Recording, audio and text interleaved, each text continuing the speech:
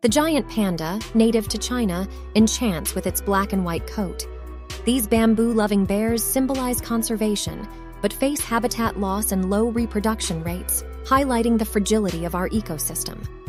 Their adorable appearance belies their evolutionary adaptations, including a wristbone thumb for bamboo consumption, captivating conservationists and admirers worldwide.